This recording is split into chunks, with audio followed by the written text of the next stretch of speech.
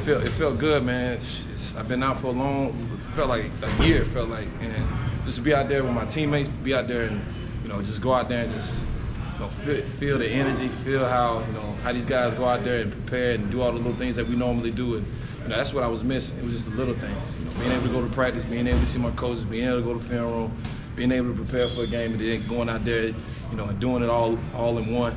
You know, it just felt good. Coach Vrabel said there was a different energy and speed out there for you guys.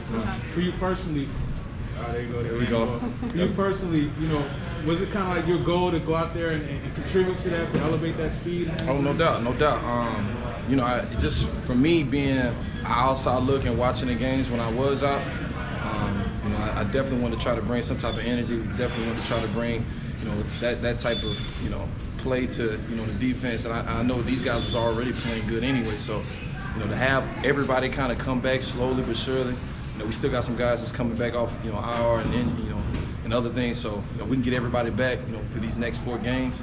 Uh, you know, we, we got we got a good outcome coming up next. For sure. how you felt physically. I mean, mm-hmm. A lot of guys probably felt a little boost after the bye. Did you feel especially fresh? I feel good. It yeah. felt like a new season for me, to be honest with you. Um, you know, it allowed me to be able to, you know, also get my ankle right, but I, at the same time, you know, shoulders, legs, everything feel good, so I'm ready to play. So you been saving that coat for Jaguars? I, I, you know what? I've been saving it this whole time for this type of game, so I'm just glad I was able to wear it for this game and you know give me a pick. Rashaan, the uh, the takeaways today, obviously the defense had struggled in the previous couple of games taking the ball away. How good was it today to do that, and how important was it?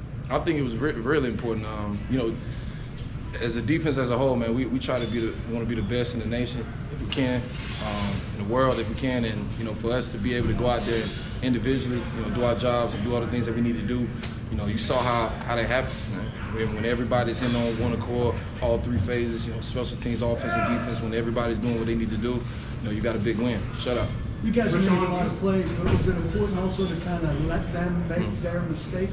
Oh, no doubt. Um, you know, at the end of the day, regardless of a record of a team, you know, they're still a good team. You know, they're still a pro. So um, we respect those guys. Those guys still play hard at the same time, and we're looking forward to next week.